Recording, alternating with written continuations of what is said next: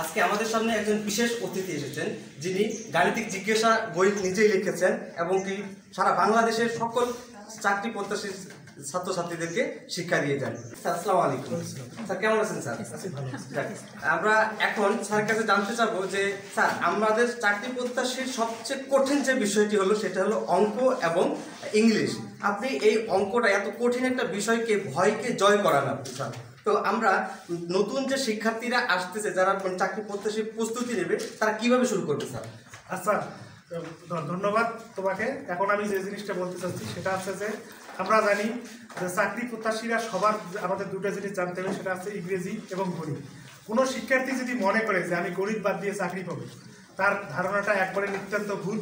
কারণ প্রতিটা পরীক্ষাতে একটা ন্যূনতম মার্ক থাকে গণিতে। তা আমি আপনাদের সুপ্রিয় শিক্ষার্থীদের বলতে চাই যে আমরা এসএসসি এক থেকে দশ মানে এগারো বছর পড়াশোনা করে আমরা এসএসসি পাশ করলাম। এবং এর পরবর্তীতে আমরা অনার্সে চার বছর পাশ করলাম। যে যে সাবজেক্টেই পড়ি, একটু হলেও আমাদের গণিতের বিষয় থাকল। তারপরও আমাদের গণিতে হতাশা, বা আমরা গণিতে বুঝতেছি না। এই বিষয়টা আমি মনে করি যে অন্যান্য সাবজেক্ট বাংলা বলেন, বা আন্তর্জাতিক বলেন, বা সাধারণ জ্ঞান বলেন, এই বিষয়গুলো আমরা সবাই করলে পারলাম। কিন্তু গণিত বিষয়টা এরকম না যে আমি হুবহু মুখস্থ করলাম, সে গণিতটা বুঝে গেলাম। এর জন্য আমার প্রথম পরামর্শ হচ্ছে যে সবার আগে আমাকে গণিত শেখার মতো মন মানসিকতা এবং ধৈর্য রাখতে হবে। আর প্রতি অধ্যায় যখন আমরা শুরু করব, সে অধ্যায়ের বেসিক জিনিসটা কি? কোন কোন সূত্রগুলো লাগবে? সূত্রগুলো কীভাবে আসলো? সূত্রটার কীতে কোথায় প্রয়োগ হবে? এই জিনিসটা আমাদেরকে জানতে হবে। এর পরবর্তীতে আপনারা একটা জিনিস জানবেন যে আমরা যে পড়াশোনাটা করতেছি, যে কোনো একটা মাধ্যম ধরে করতে হয়। তা আমরা জানি যে আমাদের দেশে শেখার প্রধান মাধ্যম হচ্ছে যে জ্ঞান মাধ্যম হচ্ছে যে বই। এক্ষেত্রে আমাদের একটা স্ট্যান্ডার্ড বই দেখতে। সেক্ষেত্রে আপনারা আমার গাণিতিক জিজ্ঞাসা বইটা দেখতে পারেন প্লাস নবম, দশম শ্রেণির যে সরকারি বইটা আছে আপনারা এটা দেখতে পারেন। গণিত বিষয়টা এইরকম, পরীক্ষার যদি কেউ গণিতে কমন আশা করে, তার মতো বোকারাম আমার মনে হয় চাকরি জগতে আর কেউ নেই। গণিত দিয়ে জগতে আমাদেরকে আশা করতে হবে যে নিয়ম কমন প্লাস আমার আয়ত্তের মধ্যে থাকতে হবে। ওই নিয়ম অনুযায়ী আমি অঙ্ক করে সেই অঙ্কগুলো মানে রিভ এবং পরীক্ষাতে অ্যান্সার করব এক্ষেত্রে পরীক্ষাতে আমার আর একটা জিনিস সবচেয়ে বেশি লক্ষ্য রাখতে হবে। আমি যদি দশটার মধ্যে দশটা অঙ্ক পাই কিন্তু পরীক্ষার সময়ের মধ্যে না পাই সেটা কিন্তু আমার কোনো লাভ নেই। আমি ওই শর্ট সময়ের মধ্যে যতটা অঙ্ক পাবো ওটাই আমার ক্লাস পাবে রুমে এসে সব অঙ্ক পেয়ে লাভ নেই। ওই জন্য আমার পরীক্ষার ক্ষেত্রে কিছু কৌশল অবলম্বন করতে হবে। এই আসলে আপনি আমাদের এখানে অনেকেই আছে বিসিএস এর যারা প্রস্তুতি নেবে এবং হ্যাঁ। প্রাইমারি সামনে বড় একটা নিয়োগ প্রাইমারি এটা শুরুটা ম্যাথ মানে গণিতটা কীভাবে শুরু তাহলে আমার প্রিপারেশন নেওয়ার জন্য অ্যাট ফার্স্ট আমি দেখব যে আমার সিলেবাসটা সিলেবাসটা ওয়াইজ আমার যে চ্যাপ্টার করতে হবে, আমি সেই চ্যাপ্টার কটা পড়ব। সুপ্রিয় দর্শক তো স্যারের কিন্তু মূল যে প্রতিপাদ্য একটা বিষয়, সেটা হলো সহজ নয়। কিন্তু খুবই সহজ যদি সহজ করে বলা হয় কিংবা যদি সহজ করে লেখা হয়। এই বইটার একটা দৃষ্টান্তমূলক উদাহরণ। স্যার আমরা আমি আমরা যতটুকু জানতে পেরেছি যে আপনি বাংলাদেশ শান্তিরক্ষা বাহিনীর যে পুলিশ বাহিনীর একজন সদস্য সাব ইন্সপেক্টর। স্যার আমাদের অনেক অনেক শিক্ষার্থী আছে যারা সাব ইন্সপেক্টরের একটা প্রত্যাশা তারা একটা চাকরি করবে। স্যার এই বিষয়ে আমাদের আপনার গণিতের কীভাবে প্রস্তুতি আচ্ছা ঠিক আছে। আমি আপনাদেরকে একটা কথা বলি। আমি একটু আগে যে কথাটা বললাম যে ফার্স্ট সিলেবাস জানতে হবে।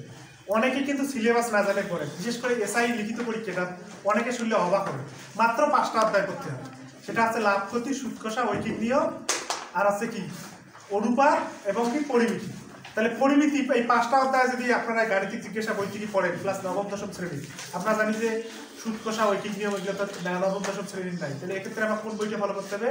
ক্লাস এইট আমরা ক্লাস এইট এবং নবম, দশম ক্লাস আবার বইটা যদি আপনারা এই পাঁচটা অধ্যায় করতে পারেন, আবার বলতেছি ঐকিক নিয়ম শতকরা লাভ ক্ষতি সুদ কষা এবং পরিমিতি। পাঁচটা অধ্যায় আপনারা পাঁচটা খবর পাবেনই। কিন্তু যারা সিলেবাসটা জানে না, তারা যদি সম্পূর্ণ বই পড়ে যায়, তার জন্য এটা হবে মাথায় একটা বোঝা এবং পরীক্ষা একটা চাপ। সে ভালো করার চেয়ে, খারাপ করার সম্ভাবনাটাই বেশি।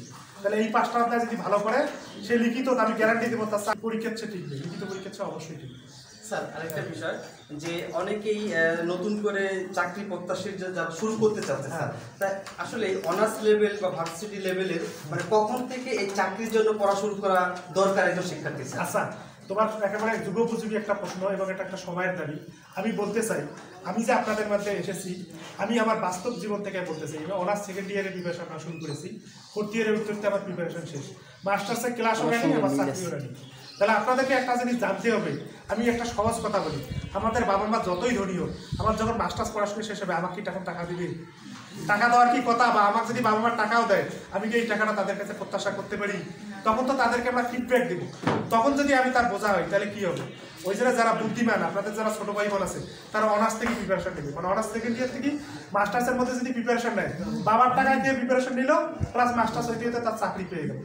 কিন্তু শেষ সময় আসি দেখবেন যে বিভিন্ন পারিবেশিক চাপ, বয়স হয়ে যাচ্ছে ফ্যামিলিকে সাপোর্ট দিতে আসছে, নিজের একটা কেরিয়ার অনেক ঝামেলা হয়ে যায়। আমি একটা আপনাদের সাথে একটা কথা বলতে চাই, যদি কেউ অনার্স সেকেন্ড ইয়ার থেকে মাস্টার্সের মধ্যে আপনারা এই তিন বছর প্রিপারেশন নেন, ভালো চাকরি প্রিপারেশন নেওয়ার জন্য কিন্তু তিন বছরের দরকার নেই। দুই বছরে না। দুই বছর করে প্রিপারেশন নিলে হবে।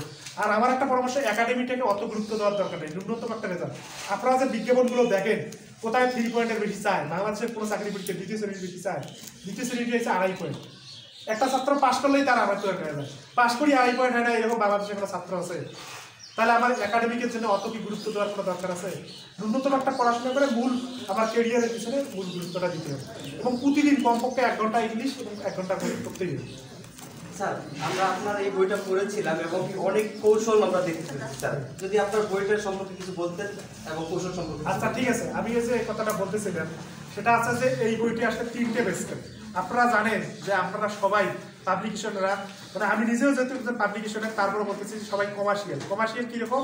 আপনার তিনটে বই কেনাবে একটা আছে পিলি একটা আছে রিটেন আর একটা আছে ক্ষেত্রে দেখা যাচ্ছে দুইশো টাকা করে হলেও তিনটে বইয়ের দাম আমার কয় টাকা পড়িল ছয়শো টাকা। আমরা যারা গ্রামে আছি, আপনারা বলেন, একটা সাবজেক্টের পিছনে যদি ছয়শো টাকা করে ব্যয় করি, পাঁচটা সাবজেক্টের বই কিনতে হয়, তাহলে বই কিনতেই তিন হাজার টাকা। আমার তো অনেকে সাধ্যের মধ্যে নাই দেখতে পারে এই বইয়ে একটা জিনিস করা আছে, প্রতিটা প্রশ্ন প্রথমে পিলি তারপর রিটেন প্লাস হচ্ছে অধ্যায় শেষে ব্যাংকের প্রশ্নগুলো দেওয়া আছে। তাহলে আমরা ওই তিনটে বই কিনি, যেটা হচ্ছে এখানে একটা বই সেটা হচ্ছে। প্লাস আমি যেটা বললাম যে সামারি আপনারা, আপনাদের সাথে আমি ওপেন চ্যালেঞ্জ করতেছি, মার্কেটে কোনো বইয়ে সামারি নেই। সামারিটার থেকে আমরা দুর্বল স্টুডেন্টরা ন্যূনতম একটা প্রিপারেশন নিতে পারব। আচ্ছা আটষট্টিটা পেজ তার মধ্যে দশটা পেজ করতে হয় না আটান্নটা পেজ যদি দুই দিন, একদিনে যদি দুই পেজ করে মুখস্থ করি, তাহলে আমার বইটা প্রিপারেশন নিতে সময় লাগবে কয়দিন তিরিশ দিন। তাহলে তিরিশ দিনে আমরা একটা ন্যূনতম প্রিপারেশন নিতে পারতেছি। এই জন্য আমি বলতেছি, যদি আপনারা গাণিতিক চিকিৎসা বইটা পড়ে, প্রথমে কিছুই পড়ার দরকার নেই। শুধু এক থেকে আটষট্টি পৃষ্ঠা ভালো করে বোঝেন।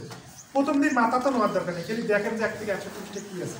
তারপর দ্বিতীয় দিন হচ্ছে যে পড়ার চেষ্টা করেন। পরবর্তীতে প্রতিদিন ফজরের নামাজ পড়ার পর বইটি একবার রিভাইজ করেন। প্রথমে পরবর্তীতে দেখবেন আপনার কাছে। এটাই আমি বলতে সুপ্রিয় দর্শক মন্ডলী আপনারা দেখলেন আমাদের সামনে একজন বিশেষ অতিথি এসেছিলেন তিনি হলেন গাণিতিক জিজ্ঞাসা লেখক জনাব মুস্তাফিজুর রহমান। আপনাদেরকে সবাইকে অসংখ্য ধন্যবাদ এবং কি আমাদের সুপরামর্শমূলক আপনারা বক্তব্য শুনলেন। স্যারকে আপনাকে স্যার অনেক ধন্যবাদ। আচ্ছা ঠিক আছে তোমার আসসালামু আলাইকুম।